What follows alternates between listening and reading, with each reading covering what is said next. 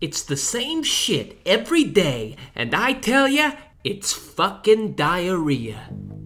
Every football game, it's the national anthem. Back in school, it was the Pledge of Allegiance. I'm sick and tired of bowing and cowing to the king. King, president, I don't care what they call him. Guy lives in a big white castle and he's not making cheeseburgers. In fact, the only cheddar he's making is off my tax dollars, and I tell you, it's making me sick and tired.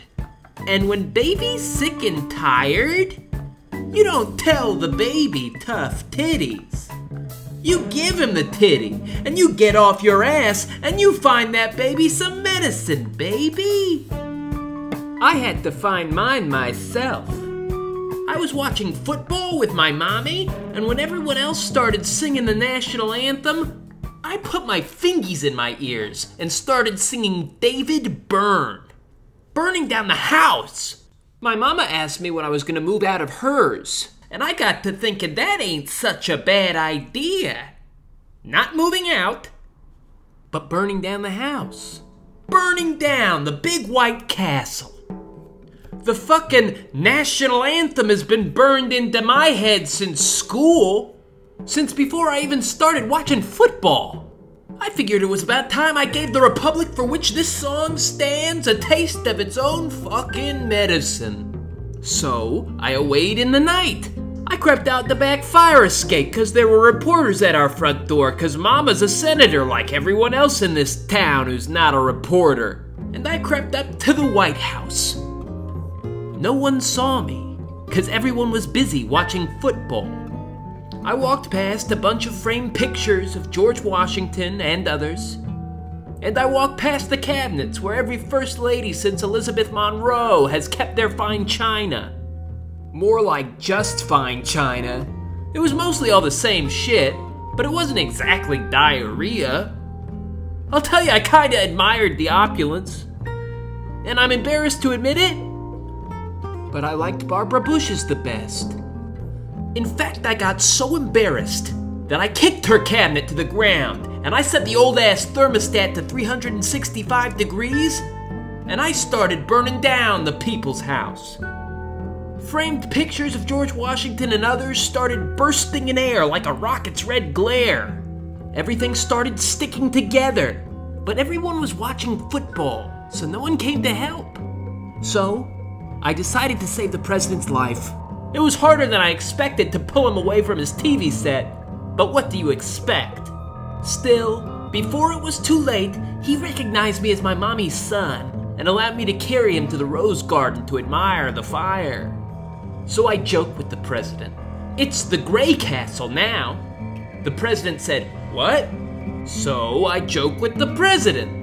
It's not the White Castle anymore, it's the it's the Ash Gray Castle now. He said it's not the White Castle, it's the White House. And I said, not anymore. And it wasn't. House, castle, I don't care what they call it.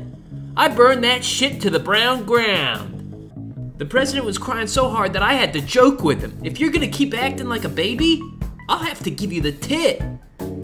But then I stopped being tough at the twilight's last gleaming, when the people's house was fully burned asunder, and there were no pictures of Washington and there were no declarations of anything, and everything was stuck together, except for the American flag from the Oval Office. Its stripes were still streaming, galleon as shit. I thought to myself, that actually is nice. And I allowed myself to joke aloud about how my faith in America was restored. But it actually kind of was. The police took it easy on me. They sometimes throw a suspect in the can and leave him there all night, but everyone knows my mama because everyone in this town knows everyone. I was strange, but not a stranger. The reporters were a little more thorough, but they were just doing their jobs. And besides, their questions helped me find a lot of answers. I realized that my whole White House thing was more about self destruction than anything else. I was unhappy. I was in the wrong city. I hate all the cities where people do something. In LA, they do movies. In San Fran, they do tech. And here in DC, all they do is politics. And all anyone talks about in any one of those cities is the one thing they all do. It's enough to make you sick. And baby was sick. Mama told me sunshine is the best medicine. I joked with her. I thought that was laughter. Then we agreed that I should move to Los Angeles because it never rains and the people are a joke. I will admit, I had a laugh there. For a time. My mama got me a job as a producer like everyone else in town. I made a bunch of pictures like Black Panther and others. Now all anyone wants to talk to me about is that. It's the same shit every day. They've got two NFL teams in Los Angeles, and no one likes to talk about football. The other day, I was talking to the greatest director of all time, and all he could talk about was some new movie he wanted to make about my life. Tough titties, I joked with him. Then I put my fingies in my ear and I started singing David Byrne.